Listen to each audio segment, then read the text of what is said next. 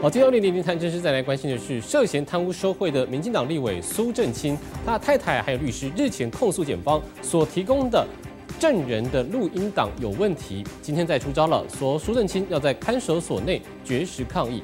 不过台北地检署发出声明反呛，表示两段有杂音的空白录音档是因为设备老旧影响到收音结果，检辩双方的人其实都在现场，绝对没有不法。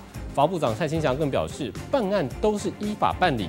至于苏振清是不是真的绝食了，蔡清祥则说目前没有接到任何状况。而苏振清的太太廖静茹呢，则表示心如刀割，百般不舍。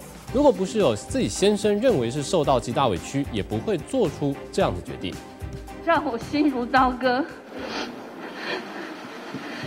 有百般的不舍。苏振清太太哭得一把鼻涕一把眼泪。民进党立委苏振清涉嫌贪污受贿，遭到起诉羁押，还没认罪，却频频出招。苏振清一号打出 A 兵牌，宣布要在看守所里绝食抗议。如果他不是认为自己受到极大的冤屈，他不会做这样的决定。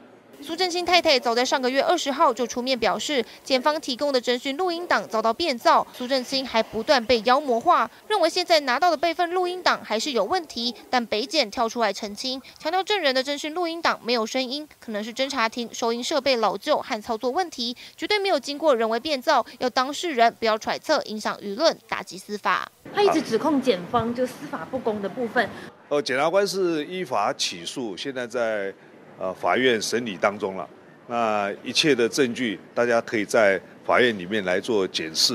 因为他说有拿出那个录音档，啊，我想个案上啊，他们会去了解啊，他不会具体来跟我报告，但是我想检察官他们是有法律的专业，他们一定会依法来处理。当事人提出争议，但检方强调没有不法，双方各执一词，案件全貌还有待司法一一厘清。记者傅世汉、李和龙台北报道。